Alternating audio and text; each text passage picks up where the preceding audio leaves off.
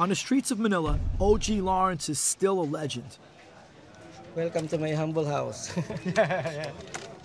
In the mafia, he would be the equivalent of a Don. When you were the leader of TBS, everybody must have kissed your ass.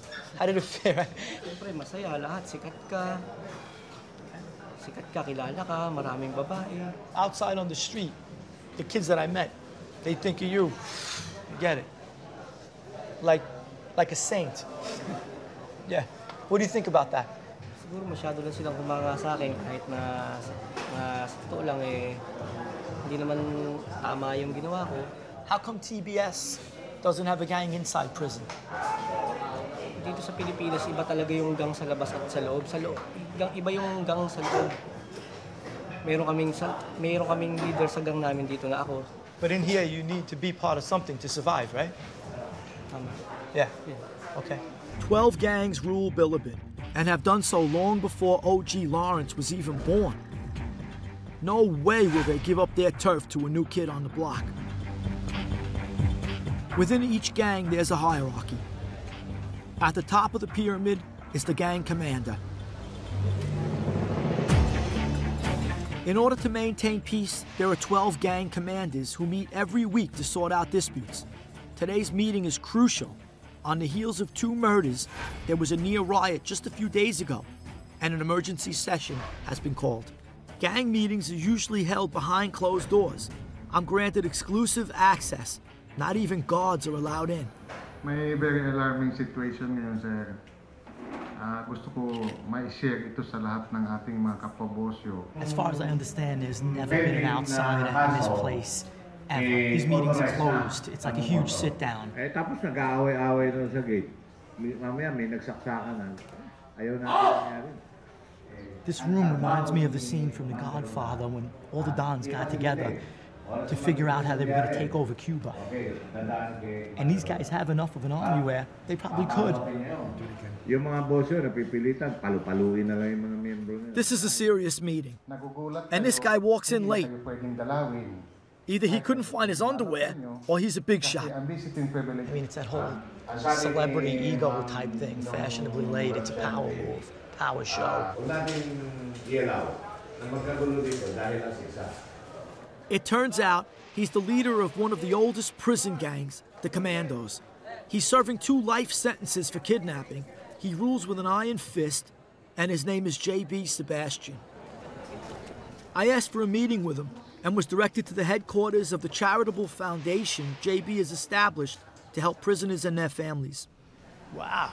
Nice. This place is nicer than some of the social clubs we had in Brooklyn and Queens. Big screen TV. I can't even believe I'm inside of a prison. I can't believe it's as hot as hell outside and the air conditioning is beautiful in here. Amazing stuff right here.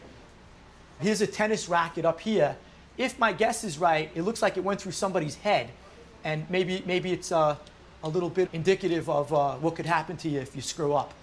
Maybe then again, maybe he just hits the ball real hard. Who knows? Could be a great player. Hey. And you are? JB. JB, How you doing, bro? What's up? Nice to to meet meet you. you. Same here, same here. take a seat, take a seat. What can you say about the place? I, I, I love it. I'm impressed. How about a cup of coffee first? Sounds good. Coffee, hot chocolate, or what? Black coffee. Black coffee. Kape nga, may kaping itim. I could tell right away that when JB says jump, people jump.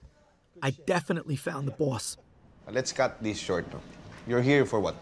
I'm here to find out how gangs operate inside and outside. How long you been in power now? Almost two years. Two years. There's an existing uh, commander at that time. And then suddenly, the whole commando community wanted a new leadership. So they conducted an election. Someone nominated me. And then another five guys nominated me at the same time. Elected like a democratic election. The other guy just willingly steps down. I don't know he was, if he, he was forced to resign or if it is his own uh, choice. And I don't care. JB claims his appointment was democratic, but there's no democracy in gang life. What democracy requires the leader's name tattooed on your skin? So it says JB Sebastian. That's your, your gang leader on your arm. JB Sebastian, Commandos. Let me see yours. JB underneath it and Sebastian. You know, in my country, I got the hots for a girl. You tattoo a name on your ass or something. Over here, you got the leader's name on your body. What's that tennis racket? It's broken in half. There's a newbie drug Okay. dealing Okay. inside the facility. He's just a newbie in the middle of the court. Come here. Who do you think you are? Ooh. It cracked. Okay. So much for his fake democracy. Like a dictator, he can execute summary justice whenever he wants. Let me show you some of my dormitories. Your name is here. Why is that? Tradition, names of the commanders and the assistant commanders in the walls of our dormitories. Okay. This prison is unique. The authorities allow the gangs to run their own dormitories, but to prevent territorial warfare, they're careful to space the dorms well apart. Unlike prisons I served time in, here gang structure is all out in the open. How many guys are in your gang? A thousand, I think. Okay, so technically you have a thousand assassins at your beck and call. And it's up to me if I'm going to use them as assassins. Explain this to me. So here's you at the top. The commander, the second boss as the assistant commander. Here are the names of the advisors. Who appoints them? Basically, it's the commander. Go ahead, who else? There's a mayor or the father of the dormitory Okay, or the branch manager of the business. okay. If there's, if there's something wrong with the dormitory, the mayor is in Wait, charge. who puts the mayors in, in office and the me. vice mayors? You. Of course. How about the treasurer? Does he handle the money? Yes, the money. And the auditor? He audits the treasurer. So you have people watching people. People watching people, exactly. How does the money funnel up to the top? Like if on the street in the mafia, you pay the, your capo, your capo pays the. From the treasurer to the mayor, from the mayor to the commander. so the money goes straight up to the top, a pyramid. Pyramid. And who watches you at the top? Are you above the people? I'm just a servant Okay. and a king at the same time. I don't know about a servant. I've been hanging out with you. You're not a servant. I'll buy the king part. I'm not gonna buy the servant part. Let's let's not get crazy. JB wants me to meet one of his happy appointees. How you doing? Good, yeah?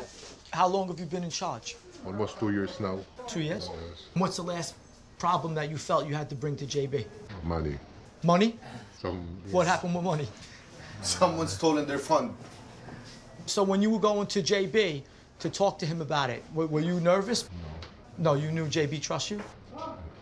JB's mayor might be denying it, but he can't hide his fear. Maybe I should resign, like a real man. Suddenly the walkabout is going all wrong. JB knows it don't look good. What if JB didn't trust you? That's got it. I'm seeing firsthand how JB operates. It's just like the mafia. The boss, the capos, the rank and file soldiers, and there's repercussions if you step out of line or say the wrong thing. Gang life allows no mercy.